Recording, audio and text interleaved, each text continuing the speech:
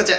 さあ、仲本先生の中間チャンネル、開講されて約1ヶ月経ちました。で、動画がですね、すでに3本、4本、うん、上がってるというような状況でございます。で、1本目、2本目、富田先生の動画が始まってですね。で、3本目も富田先生が来るのかな？と思ったら森鉄先生なんですね。まあ、これはこれで起きたという感じで、まあ、動画を楽しく拝見するとですね、やっぱりちょっと河合塾さんのお話になってましたね。まあ、その前に我々視聴者は森鉄先生の動画ですね。まあ、森鉄イングリッシュチャンネルで、この河合塾さんへの出向、えー、それを辞退すると。予備校の講師を引退すると。まあ、こういう発表がすでにありましたけども、さすがにこれを聞いた時はですね、思い切ったことしたなぁ、というのが本音でございます。で、これに関して中本先生の動画で、まあ、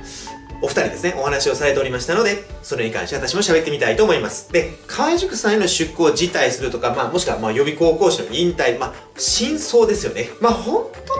とさすがにこう、大っぴどげには多分、えー、言えないと思うんですね。ですが、私は同業なので、ひょっとしたらこういうことを考えてらっしゃるんじゃないかな。私は昔、ヨゼミにお世話になりましたので、まあ、今の河合塾さんの状況を考えるとですね、まあ、本音はこんなところにあるんじゃないかな、というところからですね、お話をさせていただきたいと思います。それでは一番上をご覧くださいね。まず、森哲先生の当初の目標。これはちょうど1年前ですが、2020年の、まあ、大体4月ぐらいですかね。そこから1年。まあ、どんなに遅くとも2年以内に、日本一有名な予備高校師になる安河内先生や関先生よりも有名になるぞというところを高らかに宣言されておりました。で、どうやってなるのかというところの手段が、ただよび開校というところに繋がったんですね。で、当時の状況をご存知の方もいらっしゃるかと思いますが、おー、すげえ、マジかよで、4月から始まって、10月、一身上の都合で契約終了。ただやっぱり授業はやりたい。まあそういう思いがあって、森鉄イングリッシュチャンネルで授業動画の配信。で、それを継続されてたんですが、まあ今年の3月に授業のみの専門チャンネルですかね、開設されて今に至ると。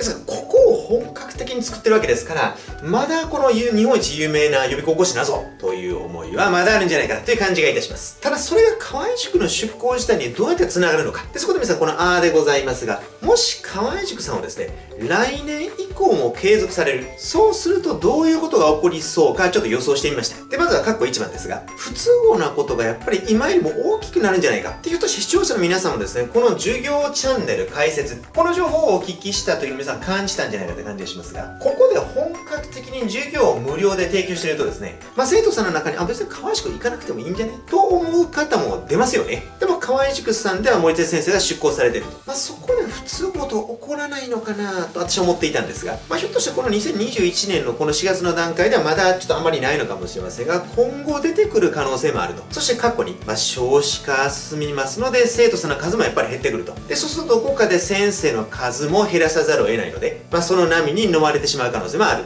そして、カッコさんは AI の加速。これ皆さんお気づきの方結構いらっしゃるかと思いますが、河合塾さんとか寸大さん、AI を取り入れて授業、これ皆さん加速させようとしてますよね。ですからやっぱり既存の先生、まああんまりいらなくなってくると。講師削減の波に飲まれてしまう。ただ、すぐにはそんな状況にはならない。ですからまたカッコ4番、人数が多い状態がまあ一定期間続く。まあ今の河合塾さんもそうかと思いますが、まあ人数が多いと皆さん競争起こりますよね。まあこれは1学期とか2学期はあんまり起こらないかもしれませんが、やっぱり夏季講習、冬季講習、これ皆さんご存知かと思いますが、やっぱ石さん、締め切り講座出ますよね。で、現実河合宿さんがどうなってるのかはちょっとさすがに定かではないんですが、近いヨゼミに行った頃はですね、やっぱりこれ、特に私が自分が受験生だった頃ですね、人が非常に多い頃でして、まあ、ヨゼミの英語科と言われたら、西谷先生、富田先生、木原先生、佐々木和彦先生、今井先生、そして西教授先生もいらっしゃいました。まあ、さすがにそれだけもうトップ講師がいるとですね、夏季講習とか東京市、なんとか自分の講座に生徒さん受けてもらいたい。そうそう、名指しはしないんですが、A 先生が B 先生のことはあまりよくは言わないんですね。で当時私が受験生としてこう、先生方の授業を見てるとですね、まあ、そういうお話は面白いんですね。まあ、こう笑って聞けると。ただ自分がヨゼミの講師になってですね、まあ、講師室にいるとやっぱ感じるんですね。ギスギス感。だからひょっとしたら河合塾さんもそういう状況かなっていう、まあ感じもいたします。ただ一方、人数が少なくなってくるとですね、まあさすがに競争は起こらないので、まあなんとなく嫌な感じはなくなるんですね。それはヨゼミの講室にいて分かりました。ただ全て OK かというと、まあ暗い話題が多くなります。これなかなか明るい話題出ないんですね。ですから競争が減るのと引き換えでございます。ですから森田先生が来年以降、河合塾への出向、これを継続されていたとしても、大体こんな感じが起こるんですよね。であれば、まだ若いうちに次のステップを踏もう。次の道を探ろう。という感じになったんじゃないかなって感じがいたします。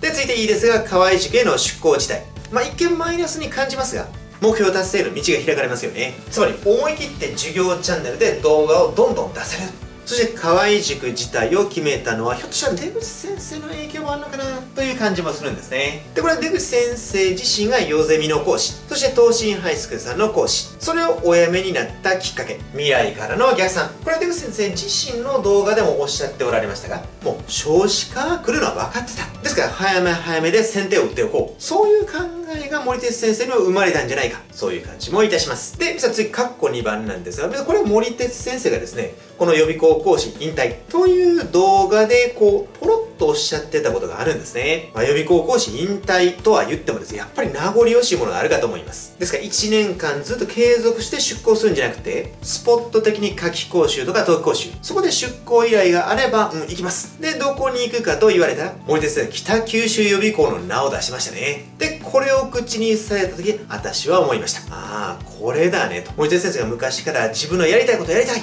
本当にやりたいこととはと口にすることは多かったですがここに本音が隠れてるんじゃないか。これはすごく思いました。でこれですね確か自分が北九州予備校さんに1年お世話になったことがあるんですね、まあ、だからこそこの「あ」とか「い」につながるんじゃないか。今はそう感じております。でちょっと皆さん大前提として聞いていただきたい。まあここに私がおります。で私が北九州予備校さんにお世話になったのは20代。ヨゼミの大学受験科講師として採用される前前の段階でその当時は現役生専門の予備校早稲田塾そこでお世話になってたんですね。で、早稲田塾でお世話になりながら、遊戯ゼミナル中学部で教えてました。ですから、まだ浪人生を教えた経験が当時はなかったんですね。ただ、ヨゼミの中学部に在籍しておりますので、まあ、ゆくゆくはヨゼミの大学受験科、まあ、浪人生を教えるぞと思ってた時期でして、ただ、そうは言っても皆さん浪人生を教えたことない。じゃあどうするって言った時に、こうです。北九州予備校さんで浪人生を教える。まあ、そういう経験を積んでもいいのではないか。と、当時から考えていたのが、まあ、私の友達2人、まあ、私も含めて合計3人いたんですね。そうです、3人とも20代。私が北九州予備校に採用される1年か2年ぐらい前の段階でですね、まあ、この A 先生が北九州校に出向で1年か2年が経った後に私が採用。私は夏季講習と冬季講習のみ出向まあ1年間で終わるんですが、まあ、それはヨゼミの大学受験科にまあ受かったからということでございます。まあ1年で辞めざるを得ない。でもう1人友達の講師が私の後に北九州予備校さんに採用されると。でそういう図式でございます。でこの A 先生も B 先生も、まあ、20代の時からまあお友達でですね。で今でも河合塾さんでバリバリ活躍されてですね、締め切り講座を連発する先生となっております。で皆さん、行ってみてわかるのが、とにかく生徒数が多いんですね。で、当時の授業時間は1コマ50分。まあ、寸大さんと同じ感じです。で、50分授業が午前中で4つあるんですね。そうすると全く違うクラスを4クラス担当することになって、で、どの授業もおおむねだいたい100人から150人ぐらい、とにかく満帆だったのを覚えてます。で、私は夏季講師初めてこう出向してですね、その4コマ前からも当てがわれてる授業でございますので、まあ、普通に教えて終わるんですが、夏季講習をあって冬季講習に出向するとですね、特に生徒さんが自らの意思で選ぶ授業、オリジナルの授業が締め切り講座になってるんですね。で、さすがに夏休み、まあ大体500人ぐらい教えてるとですね、トーク講習、まあ1教室、まあ一番大きい教室多分250人ぐらいだったと思うんですが、まあ250人ぐらいだったら満席になりますよね。ですから2講座、3講座、締め切り、まあこういうことが普通に起こるんですね。で、それはこの A 先生、B 先生も同じ状況でございました。ですから森哲先生が北九州予備校行ってもいいんじゃないかなと口にされたのは締め切り講座出したいというお気持ちがあるんじゃないかなって感じがいたしますでそれはちょっとさすがにあの気持ちがよくわかります森手先生も自らが受験生時代をゼミで受けてるんですね西谷先生富田先生中本先生自分が受けてる先生方がやっぱ締め切り講座バンバン出すんですよねで、そういうのを見て予備校生活を送って予備校講師になるとですね、やっぱり自分も締め切り講座出してみたいとなるのはもう当然ですね。で、あとは皆さん、アンケート。で、これはあの、私、夏季講習の時なんですが、どのクラスも初日、まあ私が授業した後、アンケートを皆さん取るんですね。まあ、生徒がこう書くんですね。まあ、いいとか悪いとか。で、それを集めて満足度合いがどれぐらいあるのか。まあ、それをこうスタッフが見るんですよね。で、当時は東京から出向されてる先生は、まあ、やっぱり高評価得やすいです。で、これは特に私とこの B 先生ですね。まあ、アンケートの得点どれぐらいだった？みたいな。まあ、そういう話をよく情報交換としてしてたんですが、まあ、確かに結果はいいんですね。ただちょっと参考程度なんですが、皆さん、スタディサプリの関先生。で、関先生は北九州予備校に在籍されていたことがあり、で、静岡の修営予備校。で、その修営予備校さんでも同じようなこう授業アンケートがあって、で、5段階中、うにゃうにゃ、この点数はすごいぞと日本史の伊藤外先生がツイッターで、まあ、ツイートされておりました。で、やっぱりその数字を見るとですね、まあ、5分の4.96。もうほぼ全員が大満足なんですね。で、我々が北九州予備校に出向していた時に、おそらくまた関先生はいらっしゃらなかったんじゃないかって感じがするんですが、まあ今思い返してみると、この2人、まあ正確な数字はさすがに覚えてませんが、まあ5段階中4.7ぐらいだったんじゃないかなって感じがいたします。まあ、ひょっとしてこの A 先生は、まあ4.8ぐらいかな。まあさすがにそこまでお話したことはないんですが、まあ当時の活躍ぶり、そして今の河合塾さんでの活躍ぶり、まあそれを拝見するとまあ4.8ぐらいじゃないかな、ということを考えると、やっぱり4.96も化け物ですよね。で、そういうお話をおそらく森手先生は関先生から聞いてるんじゃないか。なのでそういったところからやっぱり北九州美子は行ってみたいかも。まあこれが本音ではなかろうか。ということでございました。まあ、まだ2021年度始まったばっかりですからね。まあ、今後どう変化するかわかりませんが、まあ、今後も楽しく見守っていきたいと思います。ということで改めてこのホワイトボード確認してみると、やっぱ大事なのはここですよね。出口先生からのお言葉。ですから今日の一言。未来から逆算して生きようありがとうございました。